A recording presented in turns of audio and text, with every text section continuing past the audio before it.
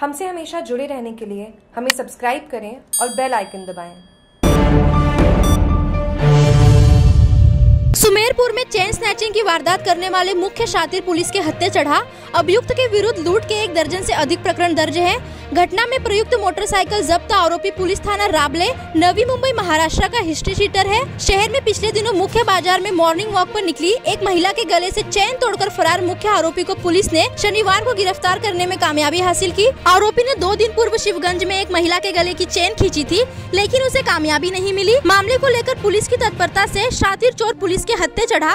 Police ने सरफराज पुत्र अलाउद्दीन शेख जाति मुसलमान, उम्र 38 साल, निवासी room number 203 sector 16 D Mart जबल कोलीवाड़ा, घनसोली गाँव, हाल साई अपार्टमेंट नामदेव, भोईर चैल, तलावली गाँव, पुलिस थाना रबाले, नवी मुंबई थाना महाराष्ट्र को गिरफ़्तार किया। आरोपी से चेन स्नेचिंग की और भी वारदातें खुलने की संभावना है। सीआई रविंद्र सिंह खिंची के अनुसार प्रार्थी रमेश कुमार पुत्र धर्मचंद्र जी जाति अग्रवाल, उम्र छप्पन वर्ष, निवासी अग्रवाल मोहल्ला सुमेरपुर ने गत 16 जुलाई को थाने में रिपोर्ट पेश कर बताया कि मेरे बड़े भाई महेंद्र अग्रवाल व उनकी पत्नी संतोष अग्रवाल रोज़ाना सुमेरपुर मेन बाज़ार से मॉर्निंग वॉक पर जाते थे। 16 जुलाई को सुबह करीबन छह बजकर पैतालीस मिनट पर मेन बाज़ार से पैदल गुजरते वक्त भैरू चौक साइड से पीछे से एक सफ़ेद रंग की शर्ट पहने बाइक सवार युवक ने संतोष अग्रवाल के पास से गुजरते उनके गले में हाथ डालकर सोने की करीब ढाई तीन तोले की चेन खींचकर लेकर बाइक को तेज रफ्तार से भागकर फरार हो गया। सीसीटीवी में कैद हुलिये के आधार पर पुलिस टीम ने आरोपी की तलाश में लगातार पंद्रह दिन तक दिन रात मेहनत करके अथक प्रयासों से तकनीकी सहायता व मुखबिरी सूचना से चैन स्नेचिंग के मुख्य शातिर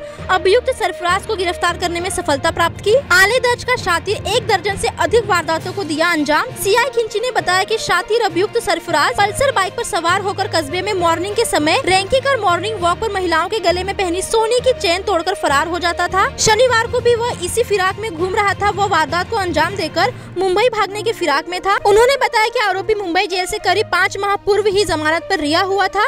उसने पुलिस थाना शिवगंज में 28 जुलाई को प्रातः के समय चेन स्नैचिंग का प्रयास किया था। तकनीकी साधनों व मुखबिर तंत्र की मदद से थाना सुमेरपुर की टीम द्वारा करीब पंद्रह दिन तक सुबह छह बजे से दस बजे तक संदिग्धों पर विशेष निगरानी कर आरोपी को धर दबोचा। आरोपी ने पूर्व में लूट की करीब एक दर्जन से अधिक वारदातों को अंजाम देना कबूल किया है। आरोपी पुलिस थाना रबाले, नवी मुंबई, महाराष्ट्र का हिस्ट्री शीटर है। वह आले दर्ज का चेन स्नेचर है। उन्होंने बताया की आरोपी ऐसी पूछताछ जारी है, जिसमें चेन स्नेचिंग की और भी वारदातें खुलने की संभावना है। इनकी रही विशेष भूमिका, सुमेरपुर में हुई चेन स्नैचिंग की सनसनीखेज वारदात को देखते हुए पुलिस अधीक्षक द्वारा टीम गठित की गई, जिसमें कांस्टेबल गोकुल राम व टिकम चंद द्वारा तकनीकी सहयोग से व मुखबिर तंत्र के आधार पर आरोपी को गिरफ़्तार करने में महत्वपूर्ण भूमिका निभाई।